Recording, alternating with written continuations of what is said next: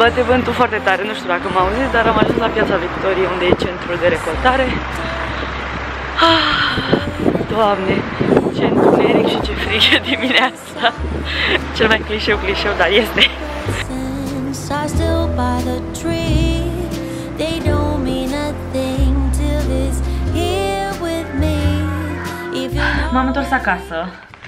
Am mâncat și eu ceva să mă reîntregesc un pic, trebuie să bag lichide multe azi. Și vreau să mă bag și un pic la somn, este ora 2. Aș vrea să trag așa un pic de somn de o oră să îmi revin un pic. Dar uh, în afară de asta mă simt foarte ok și ca să vă povestesc așa, știu că v-am mai povestit și când am fost data trecută la donat, dar nu strică să reluăm informația și mai ales pentru cine poate e nehotărât și ar vrea să, merge, să meargă să doneze, dar poate e frică sau poate nu știe cum merge treaba, e destul de simplu și a ajutat foarte mult aplicația. V-am zis că era prima dată când mergeam cu programare prin aplicație, o recomand tuturor. Ideea e următoarea, prin aplicație să faci programare, iar în momentul în care ajungi acolo în sală, nu mai stai la toată coada. Um, când a fost ultima oară, nu a fost o coadă foarte mare, dar astăzi, de exemplu, cred că erau vreo 20 de oameni, deci ar fi trebuit să aștept ceva după fiecare până să apuc să încep tot procesul ăsta de donat sânge. Uh, dar, având programare, m-am dus direct la ghișeu, efectiv. I skipped it all. și m-am dus la ghișeu. Mă rog, se completează o fișă la început cu un istoric medical, să zicem, dacă ai avut anumite intervenții sau anumite boli sau uh, contact sexual neprotejat sau mai mulți parteneri. Sunt niște chestii care îi ajută practic pe medici uh, la triaj. Um, am completat formularul respectiv. I-am spus că mi-am pierdut carnetul de donator, mi-a făcut unul nou și după care te trimite de la un cabinet la altul. Este prima, prima parte a procesului, să zic așa, este un pic mai, um, mai agitată, să spunem dar se termină destul de repede și apropo aveți prioritate și la partea asta pentru că întâi te trimite la un cabinet unde vei avea un consult medical, este un doctor acolo care tot așa îți mai pune niște întrebări, mie mi-a luat și... stai draga mea, mie mi-a luat și tensiunea, um, ce? Mi-a pus niște întrebări tot așa legate de istoricul medical în mare parte, dacă am suferit anumite intervenții, dacă am uh, luat anumite medicamente, dacă am alergii, chestii de genul acesta, adică nu vă imaginați că e ceva wow. Um, după care te trimite la un alt cabinet unde te înțeapă în deget, dacă ați făcut vreodată test de glicemie să vedeți care vă e glicemia, este fix o înțepătură ca aceea, vă ia puțin sânge din deget ca să stabilească grupa de sânge și RH-ul în cazul în care nu aveți carne de donator. Dacă aveți carne de donator, o să rămână tot timpul uh, trecut acolo această informație um, și tot așa, nu știu dacă la toată lumea, dar la mine a cerut în mod expres glicemia și, și încă ceva pentru testul acela. Bănuiesc că e în funcție și de istoricul fiecăruia și după cum te vede și nu știu, alte nebuni. Dar uh, asta e la fel, e foarte rapidă și de asta ziceam, dacă faceți uh, programare prin, prin aplicația Donorium, aveți prioritate și la cabinetele astea, nu mai stați la coadă, pentru că de, un, de multe ori se poate forma coadă și acolo, și mai mulți oameni vă dați seama, nu sunt foarte multe cabinete și teoretic ai prioritate. Practic, mie mi-a fost rușine să mă duc în fața oamenilor care erau deja acolo, așa că am așteptat frumos la rând am zis că oricum nu erau atât de mulți, erau, nu știu, câțiva oameni în fața mea. Oricum, până la urmă, m-a băgat doamna doctor în față, nu, nu știu. Eu mă simt aiurea mereu, chiar dacă știu că era dreptul meu fiind cu programare, tot mă simțeam aiurea, n-am putut. Mă rog, în fine. După ce se face testul ăsta la deget, te întorci la cabinetul de unde ai venit, la doctor, și acolo îți dă practic semnătura că ești ok să donezi și te trimite mai departe la etajul 2, toate astea se întâmplau la etajul 1, te trimite mai departe la etajul 2, um, unde sunt uh, sălile de recoltat. Bine, asta așa, ca o mică paranteză, eu acum vorbesc de București, ca să nu credeți că vorbesc despre altceva, să nu se înțeleagă greșit. Vorbesc de centrul din București. Ia stați un pic să-mi pun și o cameră aici, că mi-am morțit mâna. Așa, continuăm povestea. La etajul 2 uh, sunt uh, două săli de recoltat, cred că două, stânga-dreapta, iar în mijlocul lor este secretariatul uh, asistentelor, unde intri și îți lași fișa pe care ți-a dat-o doctorul mai devreme. Te intri cu fișa respectivă, ți-o lași acolo și aștept să fii strigat într-una din sălile de recoltat. Um, am intrat acolo, sunt mai multe patru, e o sală destul de mare și sunt, cred că, vreo 6 paturi, ceva de genul. Adică sunt mai mulți oameni care simultan donează sânge, nu stai singur undeva. E un TV aprins de obicei pe muzică, pe o chestie de asta să treacă timpul mai ușor și te întinzi pe un pat uh, din acela, te întreabă dacă preferi un stânga-dreapta, cum ți mai ok și ție și începe tot procesul. Dacă ați făcut vreodată analize de sânge, ceea ce bănuiesc că s-a întâmplat, este fix ca înțepătura de la analiza de sânge. Adică simți când intră acum în venă, simți pișcătura aceea, dar după nu mai simți nimic. Și întâi îți iau o fiolă de sânge asta pentru că orice sânge pe care ei îl uh, recoltează îl și verifică înainte, îți fac analizele de sânge, uh, nu doar pentru tine, adică poți să afli și tu, în felul acesta practic îți faci gratis și analizele de sânge, dar ca să te asiguri că totul este ok și că nu dau un sânge uh, murdar, să spunem mai departe, celor care au nevoie. Și după ce ți iau o fiola de sânge, pun punguța, lângă este un cântar, lângă fiecare pat. Mă scuzați. Uh, ah, și apropo de asta o să, o să vă mai zic și așa. Uh, lângă fiecare pat este un cântar mic, care are o tăviță în capăt, acolo se pune punguța și tăvița tot timpul face așa. Nu știu să vă zic care are rol. Poate este cineva aici care este doctor asistent sau uh, este la medicină și știe să ne explice, dar în orice caz tot timpul tăvița aceea face așa. Probabil ca să mențină cumva sângele, no idea. Nu o să, n-o să zic prostii, așa că mă opresc aici. Um, și nu știu cât să vă zic a durat, cred că depinde de la om la om și de la cum curge sângele din tine. Undeva la 15 minute, poate și mai puțin more or less, să spunem. De exemplu, prietena cu care am fost eu, Ana, la început a ținut mâna ușor îndoită, trebuie să o ții dreaptă și în jos. Ea a ținut-o ușor îndoită și în cauza asta a curs foarte, foarte încet la început, până a văzut doamna asistentă și a venit repede să corecteze. Dar în principiu, deci n-am simțit nimic, efectiv, după ce îți bagă acum venă, nu mai simți. E pur și simplu acolo, e ca o perfuzie, să spunem, doar că dai, nu ei. și stai întins acolo, te uiți la TV, te mai uiți pe pereți, mai vorbesc asistentele cu tine, de obicei sunt foarte de treabă asistentele, adică și data trecută și acum am nimerit asistente de treabă. Mai iau așa niște mici uh, înțepături subtile, le înțeleg pentru că e întotdeauna nevoie de sânge, dar a fost o chestie din asta. Eu n-am mai ajuns, de ultima oară am fost anul trecut și de atunci n-am mai ajuns, deși îmi propusesem eu să merg regulat, stuff happened și n-am mai ajuns. Acum chiar vreau să merg regulat. Dar în fine, pentru că n-am mai fost de un an de zile, uh, uitasem nu mai știu ce parte din proces. Și am zis doamnei asistente care era lângă mine, că am uitat uh, că trebuia să fac și asta. Și ea, a, pe păi cred și eu că din 2018 de când n-ai mai fost, și am văzut așa un pic, ok, don't shoot me, știu că ar trebui să vin mai des și o să îmi doresc să vin mai des, dar nu mi se pare o atitudine bună asta neapărat. Dacă vrei să încurajezi omul să revină, asta ar fi singura mea chestie pe care mi-a lăsat așa un ușor gust amar, dar îmi dau seama că lucrând în domeniul ăsta și știind cât de multă nevoie de sânge, uh, dezvol, să zicem, nu știu cum să zic, care ar fi cuvântul. Nu poți să nu te super un pic pe oamenii care pot dona și nu o fac. Deci înțeleg perfect toată treaba asta. Și în fine, după care am terminat de donat, uh, nu te las să te ridici imediat ca să nu ți facă rău. De exemplu, era un domn lângă mine, domn în toată firea, dar destul de înalt, care a vrut să se ridice imediat și să plece. Și doamna asistentă i-a zis, stați, mai stați un pic întinde, întinde, mai stați un pic jos să vă întindeți, pentru că riscați să vi se facă rău, mai ales că sunteți înalt.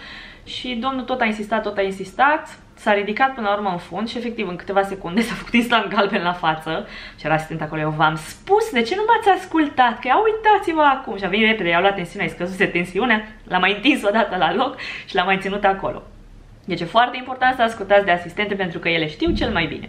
Eu am stat întinsă până mi-a zis că mă pot ridica în fund, după care m-am ridicat în fund, am mai stat un pic în fund tot așa ca să mi se obișnuiască corpul, după care mi-a zis că sunt good to go, mi-a dat carnetul, uh, se pune și o etichetă atunci când uh, mergi să donezi, ca să știe să nu vii mai repede decât e nevoie. Uh, după care cu carnetul de donator și cu buletinul te duci la caserie care este lângă, la același etaj și acolo ți se dau bonurile de masă și dacă ai nevoie, um, cum se numește, adeverință în caz că ai nevoie de zi liberă de la muncă sau uh, de scutire la școală, facultate, mă rog, la școală cred că nu e cazul că nu ai vârsta necesară, dar la facultate. Uh, și cam asta e tot procesul pe care ești liber. N-ai voie în principiu să conduci, să bei alcool, să fumezi, să faci chestii mai nesănătoase după. Uh, te poți simți un pic slăbit, eu m-am simțit destul de ok, adică mă simt un pic mai obosită, îți ia 400 de mililitri, nu știu exact să vă zic acum cât, dar cam atâta ți din sânge și acum chiar, chiar îmi doresc să vin regulat de fiecare dată când pot să donez. Uh, și cam asta este toată povestea. O singură chestie mi s-a părut mm, nașpa, să zicem, nu la donat un sânge, ci la uh, ideea aplicației și la felul în care e pus în practică, pentru că în aplicație, o să și deschid să vă arăt, Donorium. Aplicația arată așa. Și aici poți să-ți faci programare, poți să inviți prieteni să meargă cu tine la donat și mai este și secțiunea de am donat. Și pentru secțiunea de am donat trebuie să scanezi, după cum se vede, un QR code. QR code care se află doar în uh, sala de recoltare, atunci când stai practic întins și uh, ți se ia sângele. Eu n-am știut treaba asta, eu am crezut că este undeva în clădire și când am plecat de acolo am dat să scanez și am văzut că nu mai am ce scana pentru că era doar acolo. Asta pe de o parte, deci nu mi se pare foarte clar comunicat lucrul ăsta și pe de altă parte, în toată clădirea e plin de semne cu interzisă utilizarea telefonului, telefoane și tăiate și adică este foarte, foarte agresivă treaba asta. Pe de altă parte, sunt panouri cu aplicația Donorium și uh, fi un erou și nu știu ce. Ceea ce mi se pare foarte ciudat, se bat foarte mult cap în cap. A rămas clădirea în sine undeva în vremea comunistă și pe de altă parte încearcă să se modernizeze, dar cred că ar putea să o facă mai bine, asta e ceea ce vreau să spun, iar în sala de recoltare nici măcar nu știu dacă aș fi putut să scanez treaba asta, pentru că doamnele asistente erau destul de severe, adică n-aveai voie cu telefonul, eu l-am ținut în buzunar lângă mine, uh, așa că aici cred că ar putea îmbunătăți lucrurile, dar în afară de asta, ca să vă zic primisem un mesaj mai devreme să vă zic ce mi se pare drăguț, am primit un mesaj de la ei și spune așa Vă mulțumim pentru darul pe care ni l-ați oferit în numele nostru și al bolnavilor din spitale, Centrul de Transfuzie Sanguină București. Iarăși, mi se pare un gest mic, uh, nu-i costă mult, dar uh, e o chestie faină, ce să zic. Și per total, toată experiența e perfect ok. O să vă las un link în descriere dacă vreți să aflați mai multe info găsiți uh, pe site-ul uh, oficial. Acolo sunt trecute și toate criteriile, cine are voie să doneze, de câte ori ai voie să donezi, uh, ce lucruri te-ar putea exclude de pe lista de donare și așa mai departe. Mai mult de atât nu știu ce aș putea să vă zic. Scopul acestui segment din vlog este pur și simplu de a încuraja oamenii să meargă la donat dacă sunt sănătoși, dacă pot, dacă au kilogramele necesare, n-au alte probleme care ar putea încurca. Știu că Mulți avem frică de ace, frică de sânge, frică de intervenții de genul acesta, dar gândiți-vă că peste frica aia poți să treci, chiar poți să treci. Uh, până la urmă nu trebuie să te uiți când îți bagă acul și când îți ia sângele, poți să uiți în direcția opusă și n-ai nicio treabă cu chestia asta, dar tu salvezi niște oameni cu sângele tău. Întotdeauna e nevoie, la noi cel puțin, um, este lipsă de sânge și dacă poți să ajuți pe cineva cu un efort atât de mic, eu cred că merită. Bun. Acum mă duc să mă spăl pe dinți, să-mi pun aparatul la loc, că tocmai ce mâncasem și l-am lăsat aici lângă mine. A, am fost după, am și uitat să vă zic. M-am întâlnit și cu Fulvia, mi-a dat uh, decorațiunile făcute de mama ei. Dacă mă urmăriți pe Instagram, probabil că ați văzut că am pus Crăciun cu meșteșug. Am dat un share la un moment dat. Este mătușa mea care face niște decorațiuni superbe de Crăciun din fetru. O să vi le arăt mai încolo, ca să-mi trag și un pic sufletul. Dar m-am întâlnit cu ea, am stat un pic la o cafeluță la Frufru. Uh, am luat decorațiunile uh, și după am fost la clinica de care vă spuneam, la clinica unde merg pentru endometrioză, să mai fac niște investigații. Mi-au făcut o ecografie, uh, nu să vă arăt acum ecografia mea, că poate nimeni nu vrea să vadă ce se află în interiorul meu. Cert este că după ce am făcut injecția pe care mi-a dat-o domnul doctor, chisturile pe care el le-a văzut la ecografie prima oară, acum nu mai apăreau. Și mi-a zis doamna doctor, care a fost astăzi, că cel mai probabil au dispărut în urma acestei injecții care le-a făcut să dispară, nu știu să zic mai mult de atât, că nu știu exact cum funcționează. Urmează să merg la consul la domnul doctor la care am fost prima oară să-mi explice și să întreb mai multe. Dar chisturile momentan nu mai stă acolo. Asta pe de o parte vestea bună, să zic așa, pentru mine. Pe de altă parte mi-a zis că endometrioza nu se află doar pe ovare, se poate afla și pe cu totul alte organe, de la stomac, am auzit de cazuri și pe creier, din păcate, adică se poate localiza și în alte locuri și atunci evident că n-are și la ecografia vaginală pe care eu am făcut-o astăzi. și ar fi nevoie din nou de mai multe investigații. Analizele la sânge, analizele hormonale par cât de cât în parametri, le-am ridicat tot astăzi. Mai mult sau mai puțin, par ok, așa din ce văd eu care ar fi standardul. Bănuiesc că domnul doctor va ști mai bine să-mi explice. Mai am de făcut uh, progesteronul într-o săptămână, cred, cam așa. După care merg uh, din nou la consult și vedem care e treaba cu endometrioza, endometrioza vieții, care va fi tratamentul mai departe și dacă pot scăpa de dureri. Asta este micul meu update legat de sănătate astăzi și vă încurajez și pe voi dacă aveți dureri mari, nu sunt normale și bine ar fi să le investigați. Gata, vă las. Bye! Așa, am uitat să vă arăt. Pleci cu un astfel de plasture. Se lipește după ce se dă furtunelul jos ca să se asigure că nu mai curge sânge și după aia, mă rog, poți să-l dai jos în câteva ore și it's all good. Și dacă tot am filmat în partea asta, dacă vă place lenjeria asta mea de pat, care este brodată așa de frumos și care are și marginile astea roșii super căciunistice, e simplă, în rest albă, de bumbac, foarte comodă și cu detaliile astea micuțe. Uh, am giveaway pe Instagram. Despre ea era vorba. Despre ea sau cealaltă, mă rog, aveți la alegere, de fapt, din uh, colecția lor de Crăciun. Așa că dacă vă interesează, vă aștept și acolo. Și acum gata, mă duc să mă demachez, să-mi pun aparatul la loc și să trag un mic pui de somn. Ah, ce bine a fost, mi-a prins foarte bine. Bun, acum trebuie să editez videoclipul, să fie gata. Am văzut că fac o oră până la eveniment cu autobuzul, așa că am timp să mă și aranjez un picuț. Și apoi sfatul că o să fie afară evenimentul, așa că nu știu exact cât de mult voi sta în funcție de cum mă simt. Nu știam că o să fie afară, am văzut după. Uh, o să mă îmbrac așa mai gros un pic. Am înțeles că sunt și zone oricum acoperite și încălzite, dar nu știu cât de.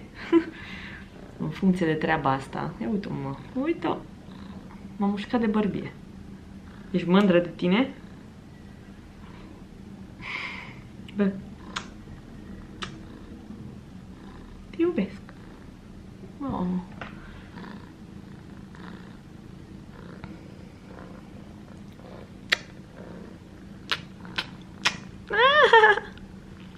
Mititică. Gata, mă pun să încopiez materialele, să le editez și ne auzim mai încolo la eveniment, probabil. Știți că vă ziceam ieri că mi-am părlit degetele cu gluganul? Ei bine, astăzi mi-au apărut bășici la două degete. Nu sunt foarte mari. Mă uitam să văd dacă am mai apărut și la al treilea, dar nu. Am rămas la două degete. Bășici. Deci chiar m-am mars, n-am exagerat.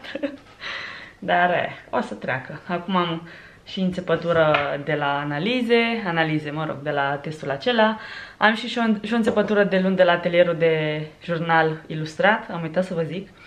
Eram la mijlocul caietului și știți că la mijlocul unei cărți sau unui caiet sau așa sunt capse. Și n-am fost atentă, deseneam eu acolo și am vrut să am șters cu guma și am vrut să dau așa, să dau la o parte mizeria de la gumă rămasă. Și mi-am înfipt efectiv un deget într-una din capsele alea, dar mi-am înfipt foarte tare, că eu dădeam acolo cu super agitație și instant, deci instant a venit un val de sânge roșu, era pș, toate direcțiile. A trebuit să stau cu șervețelul la cred că 10 minute să opresc sângerarea apăsând, pentru că nu se oprea orice aș fi făcut. Cum la șervețelul iar începea și curgea. A fost tot așa, pix ca azi, doar că a fost cu o capsă. De ce nu? Mă pun înapoi uh, la editat. Mă apropie un pic de Aha. Eu vorbesc cu voi în timp ce vorbesc cu voi. bam! Mi-am făcut și un ceai între timp să mai dea spor. Problema e că sigur nu o să fie gata de randat până plec eu, că este destul de lung pot și clipul acesta, dar partea bună este că vine Andrei acasă și o să-l rog pe el să posteze, iar mesajul din ceaiul de azi, am un yogiti aici, give love, get love. Și simt că asta am făcut azi. Am dat un pic de iubire la propriu, așa din mine, cu sângele și primesc iubire în fiecare zi de la oamenii din jurul meu. N-aș putea fi mai fericită. Mă așteptam de deschisă. Am plecat cu mașina până la urmă. Mă simțeam chiar ok, adică nu am nimic, nu sunt amețită, nu nimic și dacă până acum nu au apărut simptome, clar, nu e cazul nici mai încolo. Așa că la mașina, pentru că s-a pus și o ploaie, e o vreme super aiurea și făceam oricum o oră și ceva cu autobuzul, pe lângă mersul pe jos, până acolo și așteptat după el și așa. Azi că mai bine aduc mașina. Și acum stau în trafic.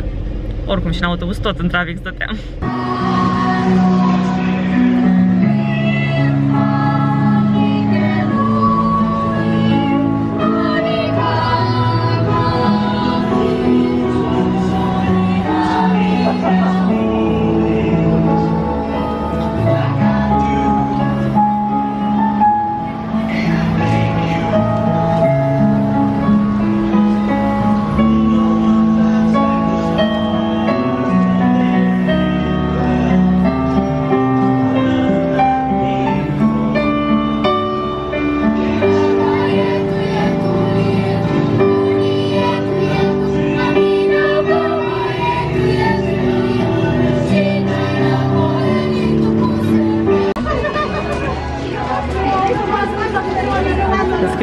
No pressure, dar să scrii frumos.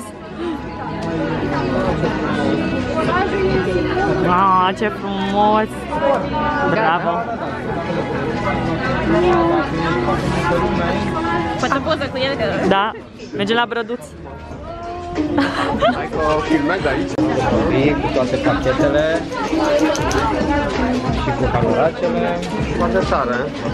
Și au strâns hanorace pentru un uh, stat întreg, pentru copii din Și jucării au pentru copii din două state. Foarte tare, mă bucur. Gata, mai făcut comentariul pe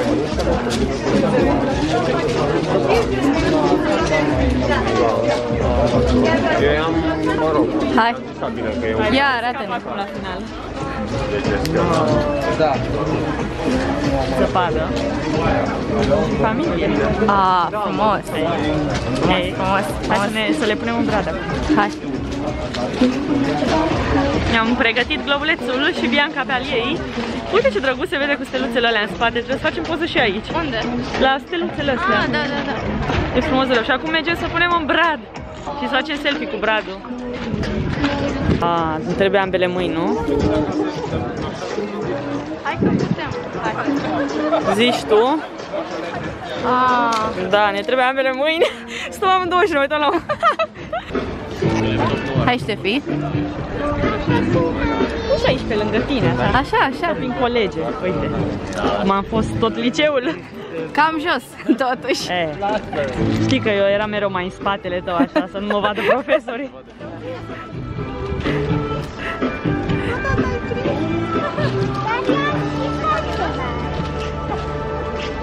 Ia să vedem. Da, ia, uite cine era. Trebuie să faci brăd- Extraordinar! Da. Avem pe Denisa aici. Scriu pe el ceva. Ia. Bine. Uite, ne-am uh, îndeplinit prima provocare, nu? Da, trebuie să mergem la următoarea provocare. A, trebuie să facem selfie. Și să ne... Deci- Deci, de cineva provocări Da, astea? da. Ce filmăm? Avem aici uh, post-it-ul Denisei. Cine mă filmează și pe mine? Eu, eu. A, eu te filmez în vlog. Hai.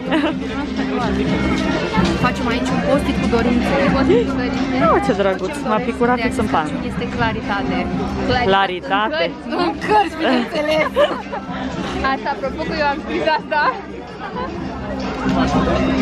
Ia uite-mă, claritate. Bă, în cărți. Cărți? Lasă că știe universul ce caută, unde e claritatea asta. Bun, bravo! Cine mai dorește? Mersi! Ia, Bianca. La ce te gândești tu? În viitorul care va să vină. Trebuie să pui pe nasul moșului.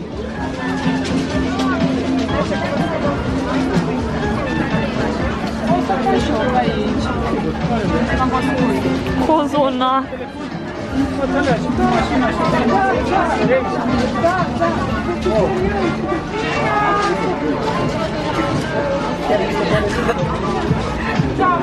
Frumos, bravo, îmi place de tine. Confirm, vreau și eu cozonac. Mulțumim! Moare, Plăcere.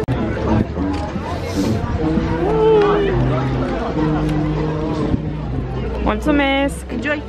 Așa, mulțumim! Hai la Hanorac. Hai. Și unde mergem la Hanorac? Da? Hai. Deci cheese, veggie,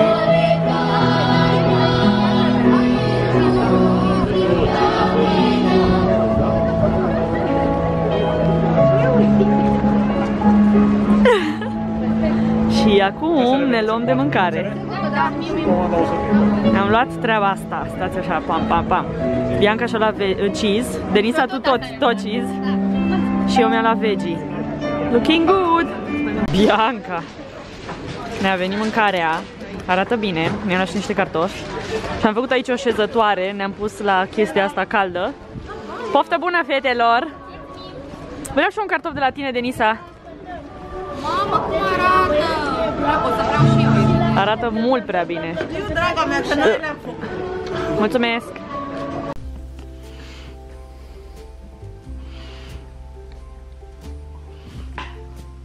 Ziua de donat și-a spus cuvântul pentru că am adormit instant aseară, așa că revin cu o încheiere din ziua următoare, ca să nu vă las chiar așa în pom.